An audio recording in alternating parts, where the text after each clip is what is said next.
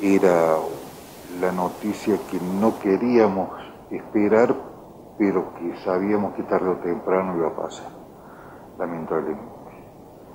Bueno, se lo pudo despedir con todos los honores, realmente de una persona que ha formado muchísima gente en el cuartel de la falda y la misma vida. Su vida fue impecable, tanto en el cuartel como fuera de él. Realmente es una pérdida que va a ser muy difícil sustituirla. Eh, era su vida, era su razón de ser, ser bombero voluntario. Estaba muy ligado a, como vos decías, a su personalidad, esto de, siempre pensar en los demás.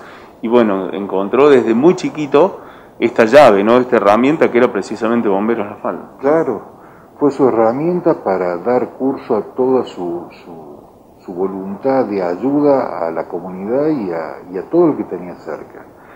Realmente yo todo lo que sé sobre el sistema de bomberos lo debo a él. Sus charlas, sus formas, yo estoy inmensamente agradecido siempre de haberlo conocido y de ser, haber sido su amigo.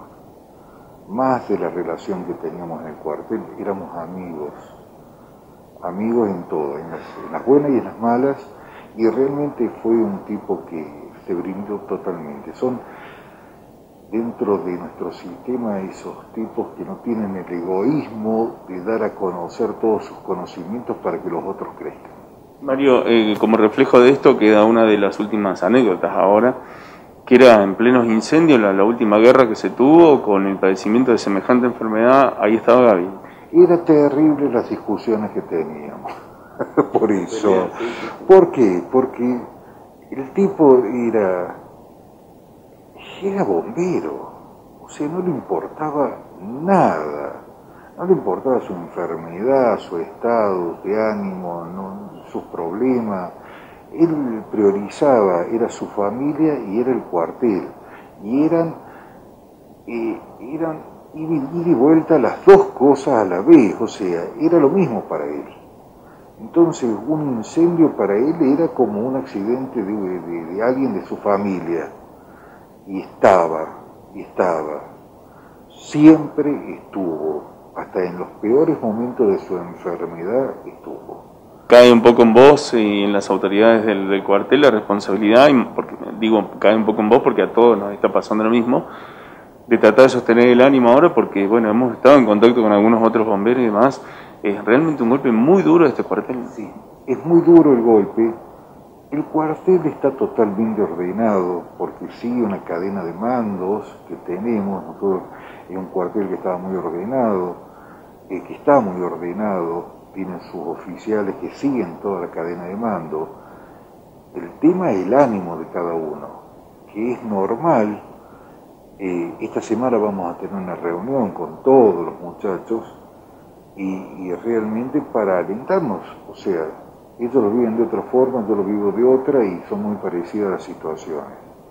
Eh, Mario, em, llegó, hablábamos de estas repercusiones al principio de la nota, llegó a través de, del ministro Mosquera el saludo del mismísimo gobernador hacia lo que había pasado. No, realmente una persona que era visualizada en todos los ámbitos políticos, bomberiles, personales, o sea, una pérdida muy grande, todavía no tenemos la dimensión de la pérdida. Yo tengo mensajes de el 90% de las provincias, porque un tipo que dedicó su, su vida a esto y capacitó a cientos y cientos de bomberos en todo el largo del país. Él participaba dentro de la Academia Nacional de Bomberos, del Consejo Nacional también como capacitador. Entonces era un tipo muy reconocido en todo el sistema, muy reconocido.